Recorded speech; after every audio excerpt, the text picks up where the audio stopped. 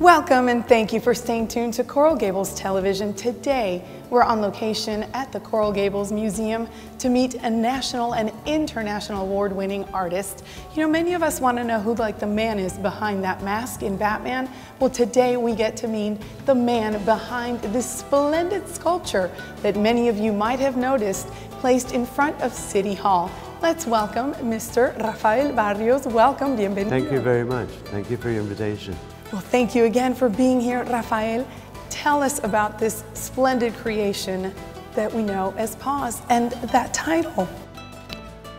It's a, well, it's a sculpture that we've been uh, planning for quite a while with Coral Gables and uh, designed it for them.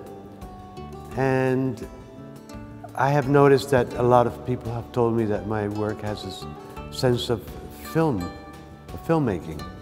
Not video, but not the new uh, but real film. And uh, it's something that when you're watching a movie or something, you, you press pause, you get that sensation that there's something alive there uh, being uh, encapsulated. And because of that, I, I do feel that that sculpture in particular has a strong sense of levitation. Uh, I wanted to recall that moment in which your mind thinking is thinking that it's levitating. You know, I don't know about you, but precisely pause makes me want to pause and see more of your creations. And fortunately, we can do that, right? Your, your artwork is going to be here at the Coral Gables Museum. Yes, yes, um, till the 27th uh, of this month, unfortunately. No, very fortunately. I wanted it to be long. Yes, unfortunately. But it was great. It was a wonderful experience. Uh, I'm really happy with the uh, curatorship. Uh, it's the first time that I find that a, uh, a curator sort of helps me to push up, push forward, and also calm me and down. reins you in. because I think if she wasn't there, uh, which is Catherine Cathers, this place would be full of artwork and nobody could even walk. Now, your collection, Rafael, has been described a bit as a play of light and space. Can you explain to us a little bit about the pieces that are featured in this collection? Yeah, this is actually a compendium of, of uh, different times of my experimentation and, and work. And um, it, it, represents all of the different uh, experiments that I'm doing. And I usually do them in this context, which is a, a synthesis of, of some kind of a geometry that you participate with because your mind looks at it as something that is actually three-dimensional or structural or volumetric when it's really just a, a concave uh, presentation that your mind reads as volumetric. Rafael, I want to tell them a little bit more about your background. It's kind of interesting. Some that maybe would say exemplifies kind of the definition of American. You were born in Baton Rouge, Louisiana, but you have a Venezuelan background. Now, you started at a very early age studying drawing and painting at the Museo de Bellas Artes in my native Caracas, Venezuela. So like, I'm going to take you real back to that early age. What was the moment that you would say that you realized that you wanted to be or that you were an artist? Well, uh, I remember when I was 16, I did a, a large painting uh, of the development of the city and the new bridges inside the city and, it, and, and I saw these buildings in between the, the highways that were elevated highways. So I did a, a drawing like a, like if I, if I was weaving buildings with highways. And it won a prize, and that felt good. it felt good. And, uh, but then again, I was always interested in uh, physics and uh, experimentation and scientists. I did uh, apply for to study physics McGill University. And uh, I don't know if I was accepted because before they told me I was accept, accepted or not, I had already decided to go to Ontario College of Art in Toronto, Canada. And now what was your parents' reaction, you know, when you said, Mama, Papa? Oh, it's, it was fine because my mother studied arts and uh, Uh, my whole life has been around the arts and around cultural uh, institutions. So now I began this interview mentioning that you're an award-winning artist. What is your favorite, do you have a favorite award and why? Uh, it's, it's wonderful to be recognized, you know, but it's, it's wonderful to also believe that you don't know anything. To be able to start from zero and have that fresh feeling, sensation of reinventing yourself all the time. So, Rafael, you know what? Why don't we do something?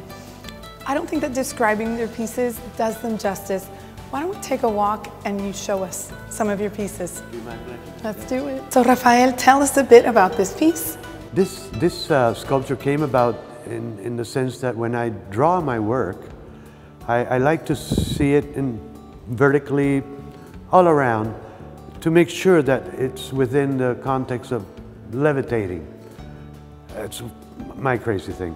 That's why uh, when you look at this static wall piece, uh, I don't know, it's a mural, but you can also enjoy the sensation of changing the changing the dynamics of, of the wall of the piece of the house. Wow. And, uh, it's kind of like the wheel of, of Rafael. No, I don't want it to be rotating. I would put a motor. I wanted just to change position. Sure, very nice. Well, let's take a look at another piece. Okay, this, this other sculpture is, uh, I want it to be a little more eerie, you know? Uh, so I started experimenting with translucent stainless steel.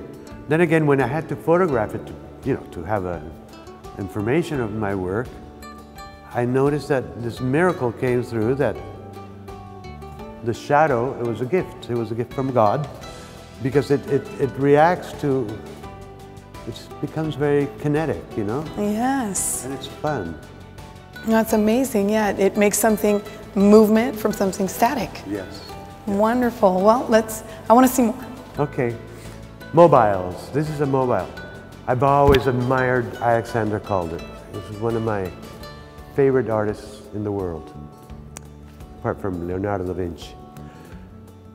And uh, I've always wanted to do actually a mobile that wouldn't look like Mr. Calder's. So after many years that uh, I've been doing it, uh, came up with this and with others. Beautiful. And it's very light, so it reacts to the even the air conditioning.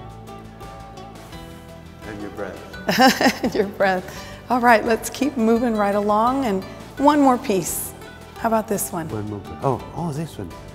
Well, it's, I wouldn't say more of the same, but it's uh, still playing with levitation, with getting that sensation that even though you know it's a structure, even though you're looking at something concave, it will tend to, in your mind, it would tend to become volumetric. And the sensation of it being in a pause as we were talking. Yes, as, your, as the statue that's being featured right now. Well, Rafael, you know, we saw all this, you know, play of light and movement, reflections of, of all kinds of things with your works of art. So I want to leave with a reflection, the following, one of thought. A world without art for Rafael Barrios is a world, and you fill in the blank. It would be a blank because we, I mean, the necessity of art makes a human spirit grow and evolve into the wonderful thing that life is. Well, you know what, Rafael? We are grateful for a world with Rafael Barrios and his art, which all of you can continue to see right here at Coral Gables Museum all this month. So we thank you, Rafael. It's my pleasure. And we do want to give a special thanks to Coral Gables Museum for having us here today. And we thank you for continuing to stay tuned yeah, to Coral Gables Television, where you can continue to see the best places, meet the most interesting people, and go to all the funnest places. So I with like that, that, we bid you farewell. Funnest, funnest. that we are. There's a lot more work, so please come. That we are. That's right. So with that, we leave you for now. I'm Rita Barrios. Thank you for watching. Until next time.